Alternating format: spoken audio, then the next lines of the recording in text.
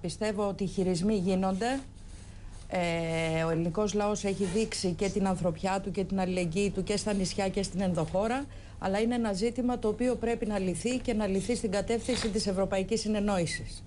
Αυτά τα οποία βλέπουμε το τελευταίες μέρες στην Ευρώπη που είναι έξω από τις θεμελιώδεις αρχές της, οι φράχτες, τα κλείσιμο συνόρων και όλα αυτά είναι ξένα προς την αντίληψη, τη θεμελιώδη αντίληψη της Ενωμένης Ευρώπης. Η προσπάθεια που κάνει η κυβέρνηση είναι αυτή, στην κατεύθυνση της Ευρωπαϊκής Ένωσης να αναλάβει ο καθένας. Προετοιμάζεται και για το ενδεχόμενο να η ευρωπαϊκή κατεύθυνση να είναι χαλιά. Α πούμε, και προετοιμάζεται πώς να το διαχειριστούμε. Για όλα πρέπει να είμαστε προετοιμασμένοι, κύριε Καμπουράκη, Ναι, σωστό, αλλά τις προσπάθειες σωστό. διαπραγματευτικές τις κάνουμε. Είμαστε εντάξει στις υποχρεώσεις μας, απαιτούμε και από τους άλλους.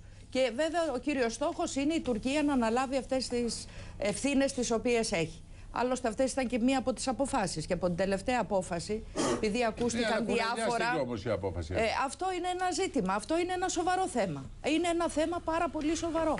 Ε, βλέπουμε βέβαια και κινήσεις όπως είχαμε και τον κύριο Πιτέλα προχθές που ήρθε και είχε και τη έδωσε συνέντευξη τύπου με τον Πρωθυπουργό τη θέση, πρόεδρος των, επικεφαλής των Ευρωπαίων Σοσιαλιστών για την Ελλάδα ότι κάνει τις προσπάθειες τις οποίες κάνει. Έχουμε τις παρεμβάσεις από τον ΟΗΕ, έχουμε διάφορα.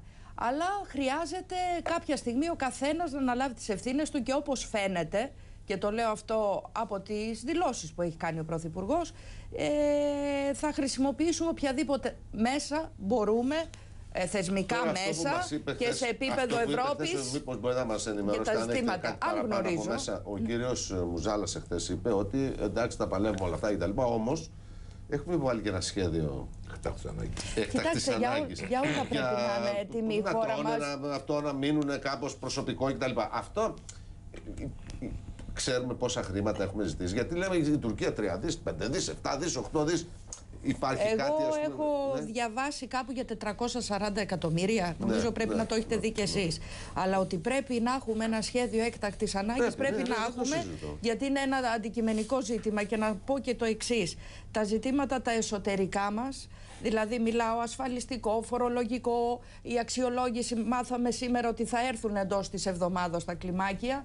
Ε, Όχι, τα κλιμάκια, όχι επικεφαλής. ναι, εντάξει, για να συνεχίσουν τις επεξεργασίες. Το ζήτημα είναι γρήγορα να τελειώσει η αξιολόγηση. Εγώ είμαι αισιόδοξη σε αυτή την κατεύθυνση, να σας πω την αλήθεια. Αλλά το θέμα το προσφυγικό είναι αστάθμιτο. Δυστυχώς. Εξαρτάται, δεν εξαρτάται μόνο από εμάς. Θα έρθουμε, θα κλείσουμε Έτσι. στο ασφαλιστικό και